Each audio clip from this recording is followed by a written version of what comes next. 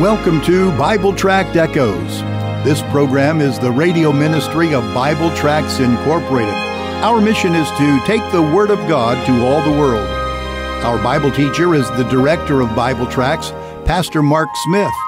Since 1938, Bible Tracts Incorporated has been publishing clear gospel tracts and supplying them to churches, missionaries, and individuals all over the world, and all at no charge. Information on how you can receive a free sample pack of our tracts will be given at the end of this broadcast. Now, for our Bible study, here is our teacher, Pastor Mark Smith. Hello, my friend. Welcome to the broadcast. It's Tuesday, and we call our Tuesday broadcast all by the same title. We call them our Tract and Truth Tuesday. Tract and Truth. Now, that word tract, let me spell it for you. It's T R A C T. It's a reference to an evangelism tool. A gospel tract is a short written presentation of God's plan of salvation. And Tract and Truth Tuesday we use to emphasize using tracts telling the gospel and making sure that we're clear with the truth of the gospel tract and truth. And it's Tuesday. Now, friend, I have a gospel tract in front of me here. I want to tell you about it here in a moment. I want to give you a gift, a free gift of a sample packet containing one each of all of our English gospel tracts. I want to do all that, but let me lead into the broadcast this way. One week from now, if you are hearing the program on its regularly scheduled time, one week from now is Christmas Day. And if you are anything like me, there's going to be a lot of activity and busyness in the next week. A part of the busy schedule will mean that my wife and I will eat some extra meals away from home in restaurants. And yes, to be sure, many of those will be fast food places, but there will be some times we go to a sit down restaurant where somebody comes and serves us. Some who listen to this broadcast know that we have a gospel tract designed especially to evaluate the service done by those who wait on our tables or do some other kind of service as well. Recently, I received a letter really questioning the tract here. Thank you, your service was. The one writing the letter was a believer, a Bible college graduate. He serves as a waiter in an Italian restaurant. His letter urged us to not use this tract due to the fact that the tract had offended one of the servers there in his restaurant. Now, it wasn't the gospel that offended the lost waiter, it was the way the tract was used and plus the less than sufficient sized tip that came with the tract. I want to tell you more about the story. You stay tuned here with us. My Bible is open to 2 Corinthians chapter 6. I'm going to read one verse there, 2 Corinthians and chapter 6. Now, I'm going to be telling this story of this letter about this gospel tract called Thank You Your Service Was, but I have another tract in my hand right now. This one's entitled Have You Received God's Gift? Have you received God's gift? On the front face of this tract, there's a man holding a globe, a globe of the world, and coming out from where the country of Israel is on there, there is a cross, a big cross making a shadow on the globe. And even the gospel in picture form begins to come out on the face of the tract. But the tract begins this way A gift must be received in order to be enjoyed. You need God's gift because you need a Savior. And then there's a Bible verse here, Romans 3.23. And there's another Bible verse that says this, There's no man that sinneth not. The wages of sin is death, which means eternal separation from God. It goes on to say, Someday you must face a holy God in your sins unless you find some way to remove them. The Lord Jesus said, here's a Bible verse, Ye shall die in your sins. Whither I go, you cannot come. If you try to earn or merit forgiveness and favor with God, which you can't do, you will never be sure you're saved. For how can you know that you are good enough and religious enough. And the tract goes on to say, but God is a gift to give to you. It's a better way, God's gift, and talks about the person of Jesus Christ, his death on Calvary, his shed blood, and your need, the person's need to receive him as Savior. It's a tremendous tool. This one, as I said, is one of the tracts I use probably more than the majority of the ones. It's one I just happen to like. You can like different ones. This is the one that I tend to like. Oh, friend. You need this tract back. Lost people need this tract. He's going to put you in the path of lost people who need this tract. You got to get the tract from us, please. At the end of the program, my announcer will make known to you three ways by which you can give to us your name and your mailing address. If you'll do that, we will send you that free sample packet of tracts. Both the gift tract I've mentioned here and the thank you for your service tract will be in there, plus 39 other ones. If you can't wait to the end of the program, go to our website, which is BibleTractsInc.org. That verse I'm going to read here out of 2 Corinthians 6 says this, verse 3 Giving no offense in anything, that the ministry be not blasphemed. Listen to it again. Giving no offense in anything, that the ministry be not blasphemed. Let me come back to my story about that critical letter about our tract. The tract in question, as I said, is the tract Thank You, Your Service Was. It's a tract that allows you to be able to rate and evaluate the person's service. Now, here are some really good lessons I'm taking away from this critical letter. And by the way, the letter was written in a godly, helpful tone. But here is my takeaway lessons. Takeaway lesson number one is this leave a tip that is more than required. Leave a tip that's more than required. If you are going to leave a small tip, please know that you're going to offend the server that gave you service. You're going to uh, offend them needlessly. A small, undersized tip plus a gospel tract will cause the server to be turned off both by the person they served and the gospel itself. An undersized tip puts a stumbling block in the way of the sinner.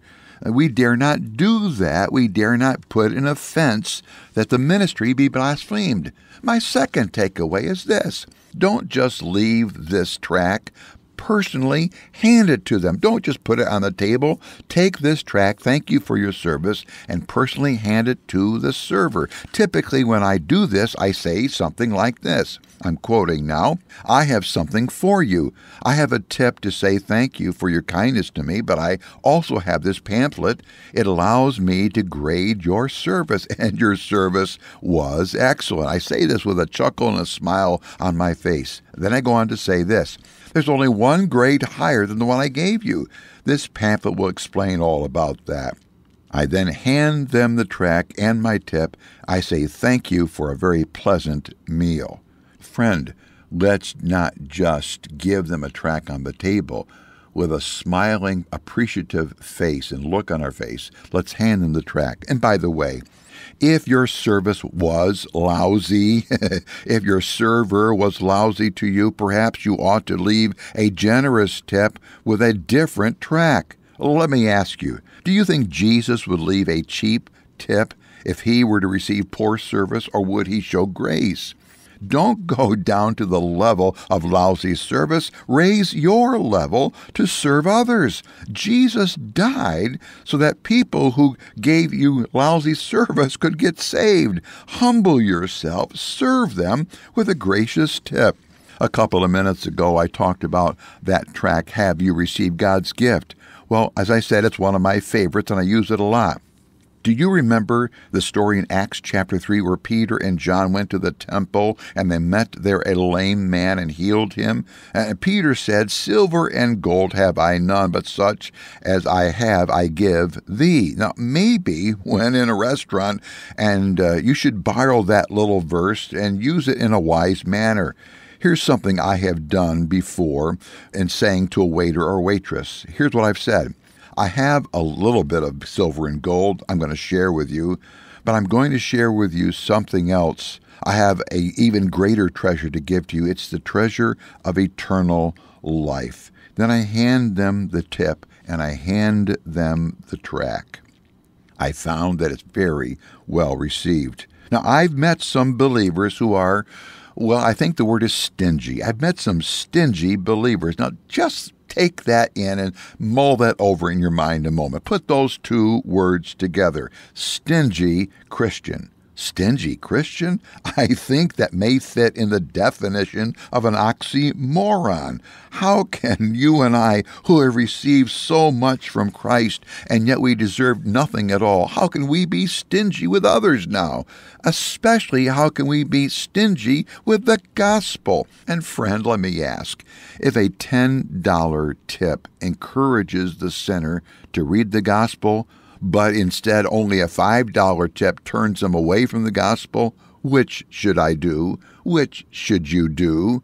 Not giving an offense to the ministry. You might say, well, Brother Mark, that server gave me lousy service. Okay, I believe you, they did. But how has your service, your personal service for Jesus, been over the last month? Yeah, yours. How's my service been over the last month? Have you and I ever given God lousy service? But aren't you and I glad that God has continued to be gracious to us? Aren't we children of our gracious Heavenly Father? Shouldn't we display the character of grace of our Heavenly Father? Years ago, my wife and I were in a sit down restaurant, and the waiter did an awful job. It was terrible. I was frustrated and I was already in a grumpy mood. And frankly, for me, that's a rarity. But I went into the restaurant in a grumpy mood and the waiter gave me lousy service. As the meal was done, I showed my wife what I planned to leave as my tip, and she simply looked me in the eye and asked this question Is that what Jesus would leave? Oh, is that what Jesus would leave? Now, friend, when you are in a grumpy mood and you're a preacher, you don't want your wife preaching to you, but she did in a very tender, gracious way. And to God's glory, I listened. I tripled my tip and I said, My demeanor, my attitude, my grumpiness has got to change, and I changed it. Friend, we represent a gracious, giving God as we go out before the world, and that includes in restaurants during this holiday season. Remember how busy you are and how hectic life can be? Well, guess what? It's the same way for that person serving you in the restaurant. Let's be gracious because you know what? Jesus would be. And since Jesus has been gracious to us, we can be gracious to others as well. This little simple gospel tract, Thank You Your Service Was, is a great tool. We get to great people service, uh, the uh, starting from the bottom up. It's acceptable, it's good, it's excellent. But the one at the top is this the greatest service in the world. And this gospel tract goes on to say that the person who served you gave you excellent service, but not the greatest service in the world, because the tract says to give you the greatest service in the world that they would have had not only to serve you, but then pay your bill. And we're told in the gospel tract that no waiter or waitress is going to do that, but there is one that did. His name is Jesus. He's the Christ, the Son of God, the eternal Creator God. He came to earth and he served us, and that he paid for the bill by dying on the cross, shedding his blood, suffering in agony that you, you and I, through him, can have our sin debt paid. We can receive him as Savior, and he'll give to us the gift of eternal life. Receive him today. Thank you for joining us today for Bible Tract Echoes. If you would like to receive a free sample packet of our tracts, you can contact us by calling 309 828 6888 our mailing address is Bible Tracts, P.O. Box 188, Bloomington, Illinois 61702. Again, our phone number is 309 828 6888, and our mailing address is P.O. Box 188, Bloomington, Illinois 61702. You can also contact us through our website. Our web address is BibleTractsInc.org. Remember, the word tracts is spelled T R A C T S. That address is BibleTractsInc.org. May the Lord richly bless you as you serve Him.